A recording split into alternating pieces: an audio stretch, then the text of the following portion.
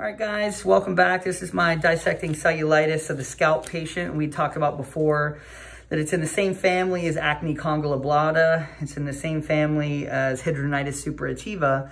And he's been okay on and off with antibiotics, but he's kind of flaring pretty bad today. So we were talking about isotretinoin or Accutane as a good option. Um, just and they, we use that for hidradenitis sometimes. It's it's across the board. So, but today he's flaring a little bit, so we're gonna do an I&D of just a couple spots for him, just like we did last time. Gives him a little bit of. Uh, I just need a eleven blade. A little bit of inflammation res resolution here, and we get that out. That should take away the tenderness. Now, we do have right through here and right through there, temporal arteries right in that area. We're above that, um, but we don't go deep on this because it is a sensitive area. We numbed it up, shouldn't feel anything, just a little pressure here, okay? Not bad? Uh -uh. Good, there you go. There you go. And there was quite a bit in there. Good, good.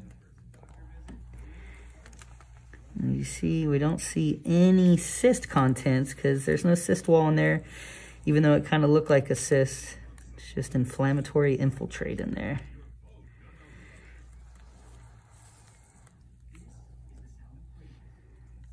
That's good. Pressure now he's numb. There we go. Got that fluid out. You see that bump starts to go down.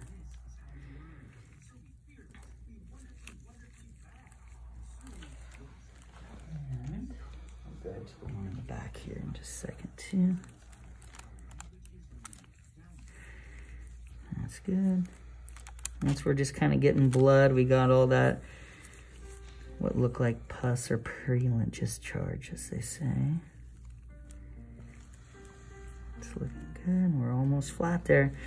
So that'll kind of, with the medication, it's going to dry up the rest. We'll just put a Band-Aid on there. Sometimes we'll get an ingrown hair, which I see just popped out there There's a little hair right there. Sometimes that can be what starts it. Came out from the middle. So, sometimes we get our hair trimmed and things and we trim short by the edges and that hair will ingrow and that can cause that little bit of inflammation that just takes off with this condition, unfortunately. But he did great. Nice and numb, so he shouldn't have had much pain at all. If you want to roll a little bit to your right, yeah, I'm to get this one here now. This one's already under pressure. I can see, so this one was draining a little. I can see some back here. Little poke, sorry. You okay? Mm-hmm. Good. Same thing, we kind of get that purulent discharge there. And I'm gonna bring that from over here and over here to the middle. And that goes down pretty quick.